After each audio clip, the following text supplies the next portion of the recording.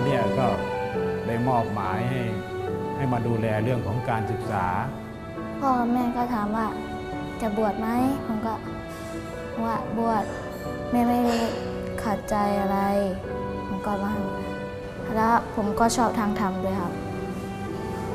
ตั้งใจว่าจะไม่สึกเลยครับ อยากให้ทุกคนมาเรียนแบบมีประโยชน์หลายอย่างอะ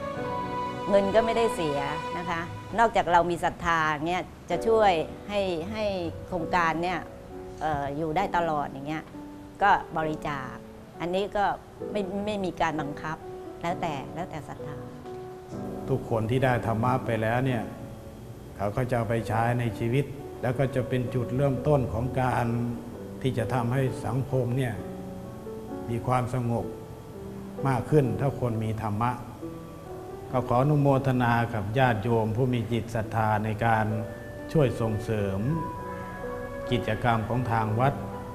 ที่เกี่ยวกับด้านการเผยแผ่ธรรมะ ด้านการศึกษาของพระเนนและก็คารวะญาติโยมที่สนใจในด้านธรรมะนี้ ก็จะเป็นจุดเริ่มต้น ในการที่จะทำให้ตัวเองเนี่ยเป็นคนดีแล้วก็มีผลต่อสังคมก็จะดีตาม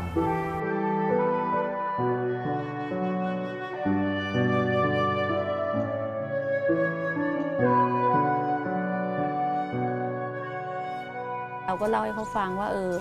บอกน้องบอสเนี่ยตอนนั้นอายุได้ประมาณ 13 ปีอะค่ะหายไป ก็ไม่ทราบว่าหายไปไหนคือเหมือนน้องว่าน้องมี ภาวะที่แบบเหมือนว่าเป็นเด็กสมาธิสั้นด้วย ครับ เราเป็นองค์กรที่ก่อตั้งมาประมาณ 20 กว่าปีแล้วนะครับ แล้วก็มีภารกิจในการทำงานเพื่อที่จะแก้ไขปัญหาสังคมในหลากหลายเรื่องนะครับ ภารกิจหนึ่งที่เป็นภารกิจสำคัญก็คือการติดตามหาคนหายนะครับ เด็กที่หายออกจากบ้านไปนะครับ ผู้สูงอายุที่หลงลืม แล้วก็พัดหลงหายออกจากบ้าน ก็เป็นส่วนหนึ่งของภารกิจที่เราพยายามพาคนเหล่านี้เนี่ยกลับคืนสู่ครอบครัวอีกครั้งหนึ่งนะครับ พอพอรุ่งขึ้นอีกวันหนึ่งตอนเย็นก็ไปกันอีก พอไปตอนเนี้ยก็ไปเจอไปเจอน้องก็แบบสภาพแบบแบบดูไม่ได้ สภาพแบบเหมือนแบบเด็กที่อยู่ข้างถนนน่ะคือเขาเขาก็ร้องไห้แม่ก็ร้องไห้นะ แต่ก็ไม่รู้จะทำไงแต่ด้วยความที่ดีใจก็ได้แบบเออตามลูกกลับมาได้อะไรอย่างเงี้ย กรณีน้องบอสเนี่ยก็เป็นอีกเคสหนึ่งที่เรารู้สึกว่า มีความประทับใจแล้วก็ภาคภูมิใจในในสิ่งที่เราทำไปนะครับ เนื่องจากว่าตัวเคสนี้เนี่ยเป็นเคสที่ค่อนข้างลำบากนะครับ แล้วก็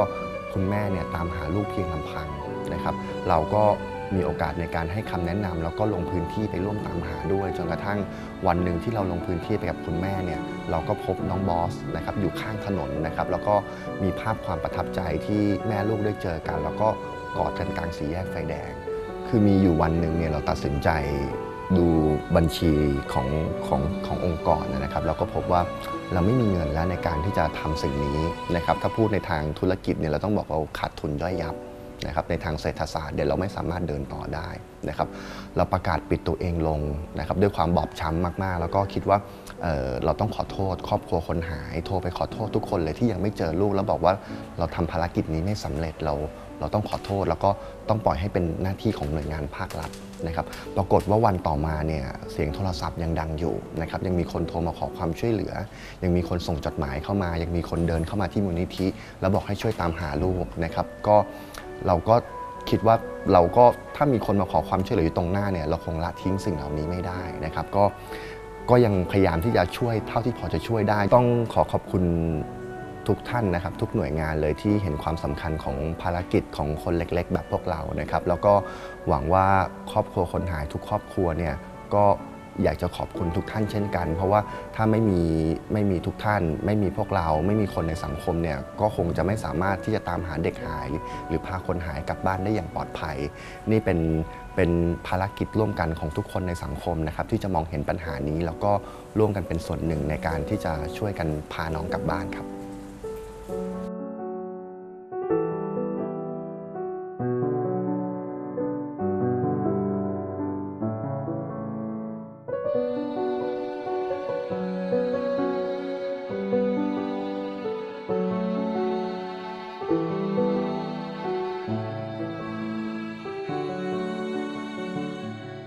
ชยกรพุทธนาครับ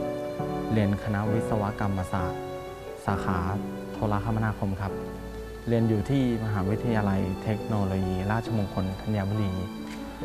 ชีวิตทางบ้านของผมก็ไม่ได้เรียบง่ายสักเท่าไหร่ เพราะว่าผมต้องทำงานไปแล้วก็เรียนไปด้วยครับ เพราะว่าต้องหารายได้ช่วยทางบ้านแล้วก็จ่ายค่าเทอมตัวเองด้วยที่บ้านก็คือจะมีผมอยู่กับพ่อสองคนครับ ก็จะอยู่กันอย่างนี้มาตั้งหลายสิบปีแล้ว ผมก็จะเป็นคนหาเงินจ่ายค่าเทอม ส่วนพ่อก็จะเป็นคนหาเงินกินประจำวันให้ จะตกลงกันไว้อย่างนี้ แต่พอหลังจากที่พ่อประสบอุบัติเหตุ ผมก็จะต้องรับงานเพิ่ม เพราะว่าแค่งานประจำอย่างเดียวมันไม่พอแล้วรายได้ที่ขาดในช่วงนั้นนี่ผมก็ต้องวิ่งหายืมวุ่นวายมากมาย เป็นหนี้เป็นสิน